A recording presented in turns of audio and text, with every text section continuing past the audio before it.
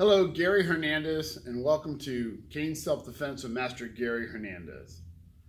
I wanted to cover in this cane self-defense tip, second part of manipulating your cane in your hands. I did a video, I think one or two back about hand manipulation of your cane. This is going to be somewhat similar to that. This is just a quick, fast technique to where someone, when they're reaching for your cane or your cane arm. Because you have to really think about it. You know, you have a man or a woman walking with a cane, you, know, a little bit older. Person's going to go, okay, I'm going to grab that cane or grab that cane arm when I go to attack them. Because if I don't, they're just going to hit me with the cane. And that's basically what we would do. Now, you notice Bob, I lowered him. Usually he's a lot higher. Well, the reason I lowered him is because I wanted to show you and I'm only 5'8", I'm a short guy. When somebody leans in, their head drops down. So I kind of put Bob where when you lean in, that's about where the head's gonna be. Now, this technique's real simple. I'm here, he leans in for my cane, and I just turn and whack him with the other hand. It's that simple. Sitting here, he comes in, and I whack him. Now I'll slow that down. As he's reaching, I just pull my cane and my cane arm away. Now, before somebody goes, well, why don't you just punch him with the other hand, Gary? Absolutely, I can do that. I can do that all day long.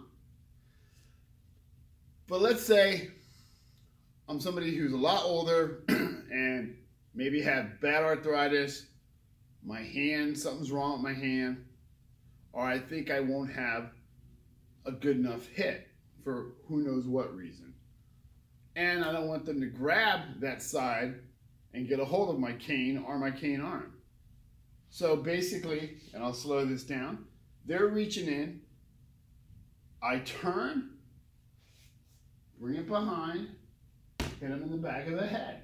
As I stun them, I hit them again because it's not going to be a super solid hit. It really isn't because I'm in close and it's going to hurt. It's a hard piece of wood. It's going to hurt. So I may have to give him a secondary hit.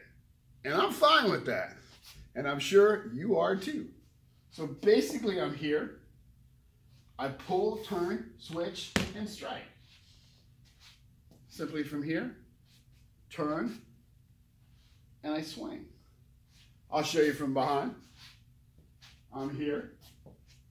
They're reaching. I turn and swing it from behind.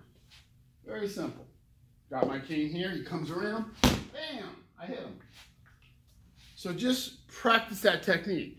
You can practice it with the other hand too. You're here, you turn, and you hit. So think about they're reaching, you're pulling that away. Just like as karate instructors teach one of the first ways not to get in a wrist grab situation is to pull away. And then if they get you, we have other stuff as well. But think about it. They're reaching for that cane or that wrist or arm. You're pulling it away.